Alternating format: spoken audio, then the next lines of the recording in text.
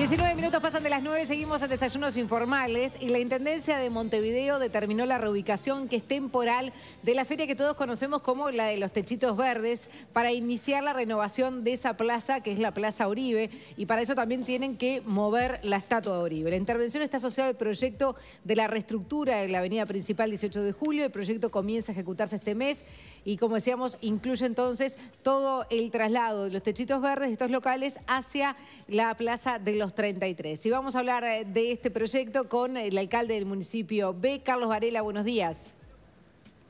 Buen día, ¿cómo andan por ahí? Bien, muy bien, Carlos. y justamente... Bueno, acá estar contando. Estás por allí, eh, son muchos los cambios, hay vendedores que están de acuerdo, otros que no, algunos vecinos que se quejaron, otros que dicen que el proyecto es mejor.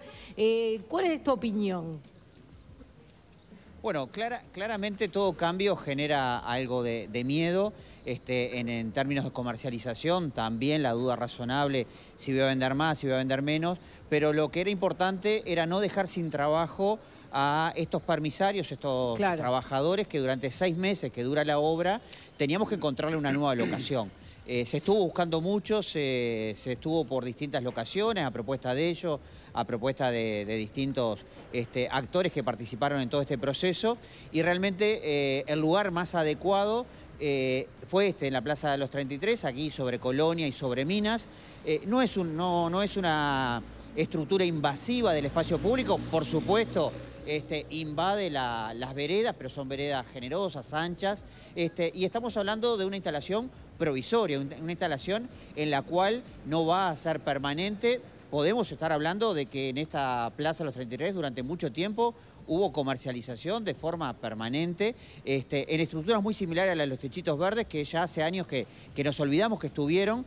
Este, estas estructuras van a estar acá solamente por el tiempo que dure la, obra.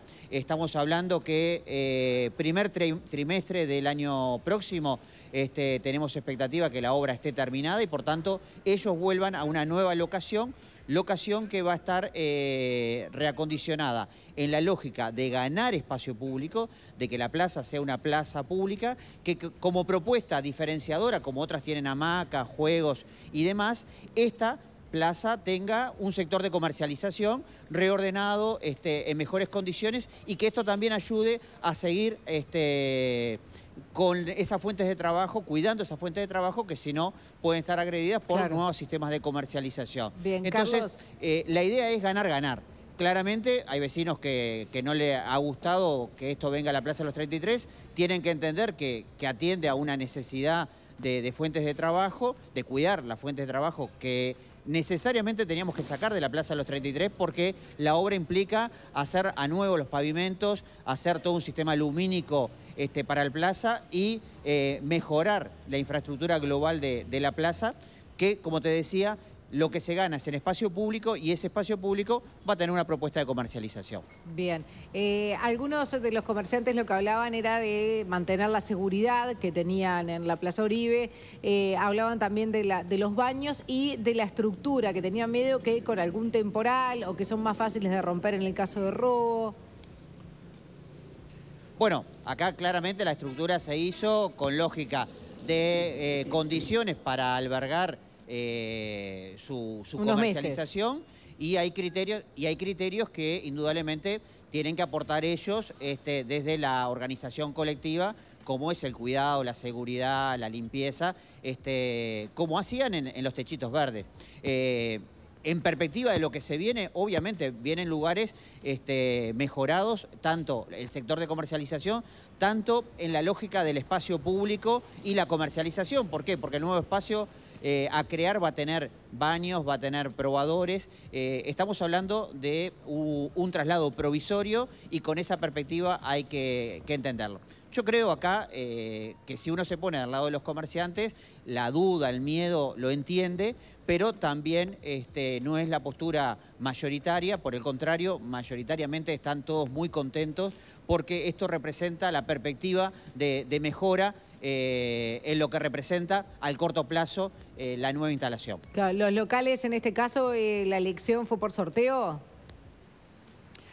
Sí, el traslado se hace por sorteo, obviamente es un sorteo frente a escribano público, con la presencia de ellos, eh, y la reubicación a, la nueva locación también se va a hacer por sorteo y es parte de las cosas que eh, lo hemos hablado con ellos, hemos trabajado, esto es algo que se viene hablando hace mucho tiempo, es una obra muy esperada, eh, que va en el marco de la mejora de la avenida Fernández Crespo, que si uno la mira en perspectiva ha venido transformándose, más allá que falta mucho todavía, ha venido sufriendo transformaciones de, de cambio radicales eh, con referencia a lo que era y lo que es, con obra pública y obra, obra privada, sistema cooperativo de vivienda, vivienda promovida, edificios públicos, edificios privados, y en este caso la cabecera de Fernández Crespo sobre 18 se une con otro proyecto que es el de 18 de julio, que también viene a, a- a ayudar, a colaborar con el plan de mejora de 18 de julio, la, la adecuación de este Bien. espacio público tan emblemático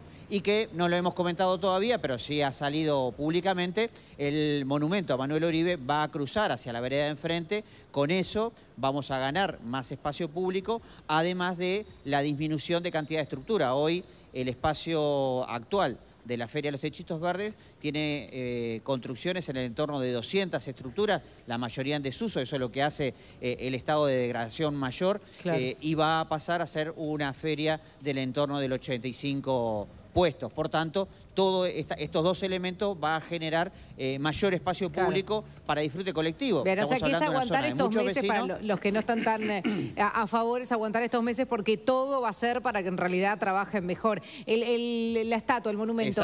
¿va a quedar enfrente eh, ya fijo o vuelve también?